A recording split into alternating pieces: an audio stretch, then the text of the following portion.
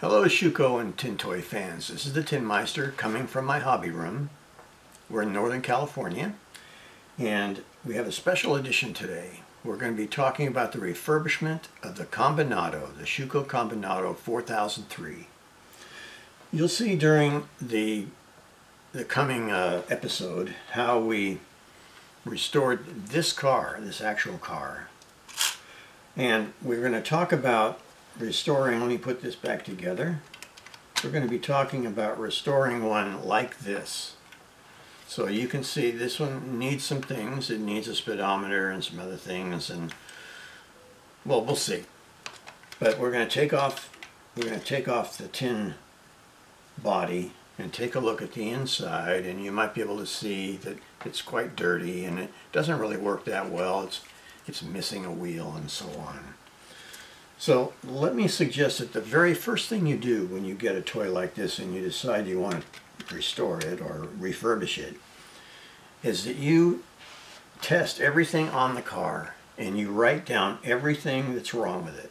Everything from the paint to missing parts to broken springs to whatever it is that you're going to write down all the things that are wrong with it. Maybe the horn doesn't work, maybe the steering doesn't work, all those sort of things. You're going to write that down before you start because as you get into this, you're going to find that you may forget all the things that's wrong, that are wrong with it. I know I do. And because you're going to probably take some time to restore, it's probably going to take you probably a minimum of a week, maybe longer if you don't have the parts to restore it and you'll kind of forget what it was that you wanted to do and what was wrong with the car to begin with. So without further ado, let's move on to the series.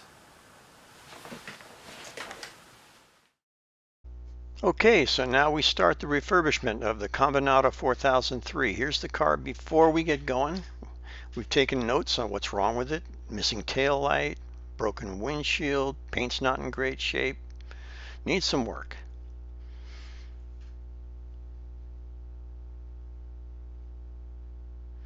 So the first thing I want to show you is their little uh, hole there for the horn key. Now these are the three screws. The first one's in the front with a red arrow. Two in the back, there's a red arrow for the second one. And the third screw is on the bottom right there. And notice that the wheel right here is not looking good. It's very loose. We'll fix that later.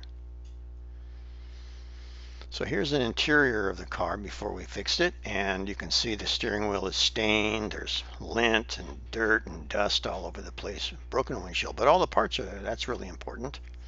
So here's the car, when we've taken it apart, we're taking a look now what's wrong with it on the inside. You might want to take some more notes about your car at this point.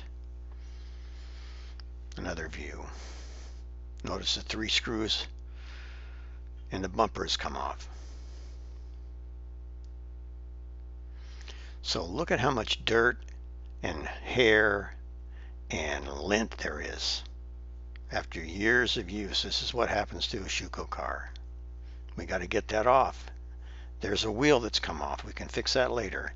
But I, what I like to use to start off is very, very gently use a brush, a paintbrush, a small paintbrush to get that get all that lint and dirt off so I can really see what's going on without causing any harm to the car. And there's a brush I normally use about that size. I can get in and into some tight spots with that brush.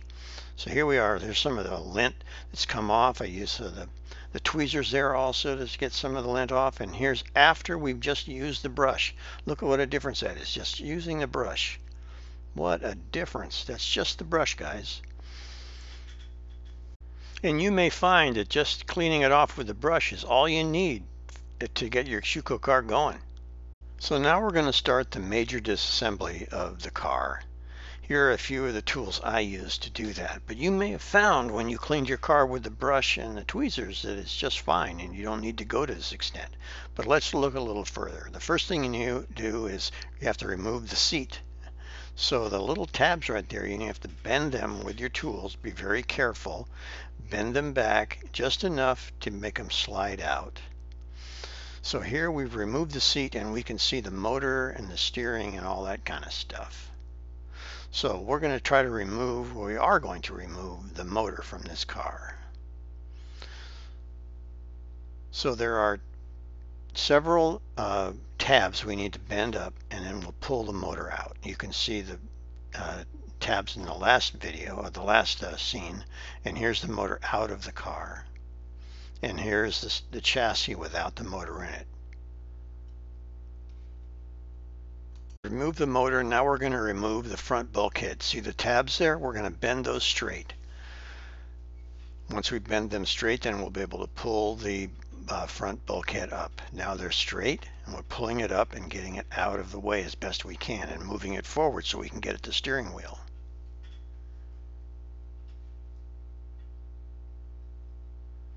So we pulled it up and pushed the um, bulkhead forward and now the steering column, you can see it's coming out of the steering wheel. We're going to remove the little horn button.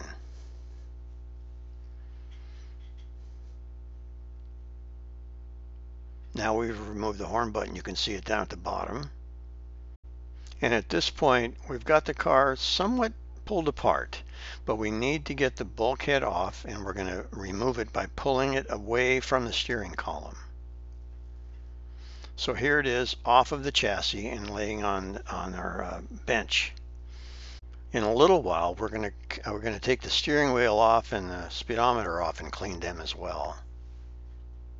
We've, re we've removed the motor and we've removed the front bulkhead and now it's time to take off uh, the rest of the stuff in the front of the car the, uh, the the horn mechanism and the steering mechanism and we'll clean all that up. Once we get all that uh, taken apart then we can clean all the parts thoroughly